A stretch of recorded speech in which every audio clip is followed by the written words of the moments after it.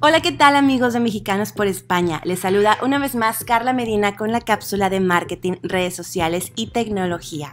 Feliz 2021. Quiero comenzar este año compartiendo con ustedes algunas recomendaciones para reforzar la protección de nuestros datos personales en las redes sociales. Estas recomendaciones fueron lanzadas por el INAI, que es un instituto de acceso a la información de nuestro bello país, México.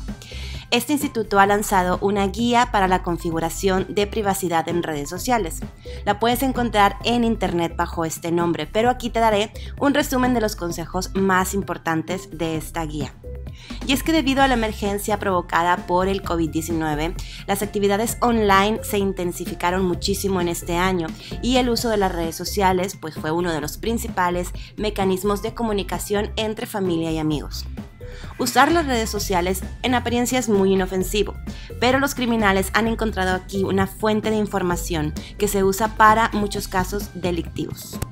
Por ejemplo, las actividades que pueden generar algún tipo de riesgo son publicar la ubicación en tiempo real en las redes sociales, compartir fotos o videos de viajes y dar a conocer tu dirección privada, ya que a través de esta información se abre la posibilidad de que los delincuentes localicen a los usuarios, planifiquen y ejecuten, por ejemplo, robos domiciliarios, entre otros.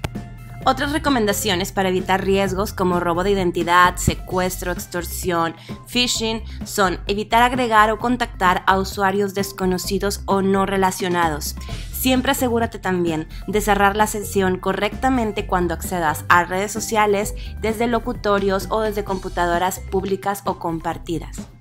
También genera contraseñas seguras, es decir, que tengan una variedad de caracteres combinando letras mayúsculas, minúsculas, signos de puntuación y números.